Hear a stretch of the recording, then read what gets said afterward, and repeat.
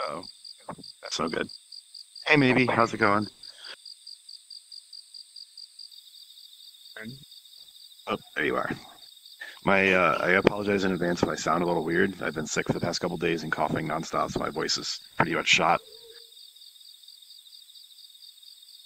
Uh, oh, oh, my body. Hold on. There we go. I sound edgy. All right, I got. I'll take. I'll take it for what it's worth. I hope I don't sound weird. No, not at all. Not at all. Oh my god, what is going on? you want me to be more shocked?